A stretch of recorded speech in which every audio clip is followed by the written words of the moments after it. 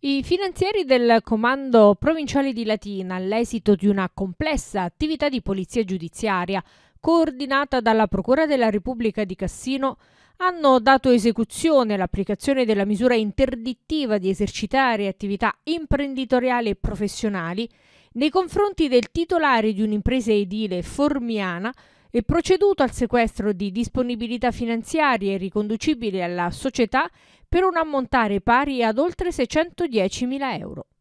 L'indagine condotta dalle Fiamme Gialle del gruppo di Formia ha preso le mosse da una mirata analisi di rischio svolta sulle imprese beneficiarie dell'incentivo Formazione 4.0, erogato con i fondi PNRR, ed ha consentito di ipotizzare la commissione di un complesso meccanismo di frode basato sulla creazione ad hoc di crediti d'imposta inesistenti e la successiva compensazione illecita di questi bonus in sede di versamento delle imposte dovute con un ingente danno alle casse erariali.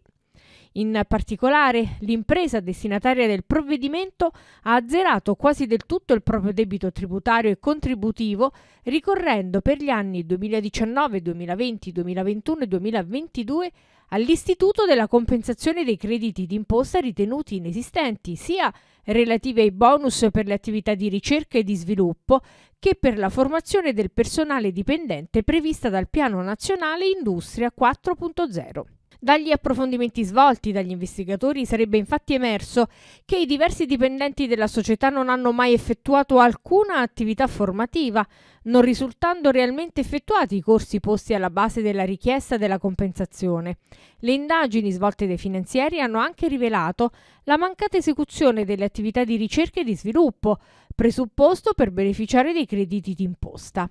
Gli elementi investigativi raccolti hanno quindi indotto il GIP del Tribunale di Cassino a disporre il sequestro preventivo finalizzato alla confisca, pari all'ammontare delle imposte evase corrispondenti a circa 610.000 euro, e ad applicare la misura interdittiva nei confronti del rappresentante legale della società beneficiaria della frode.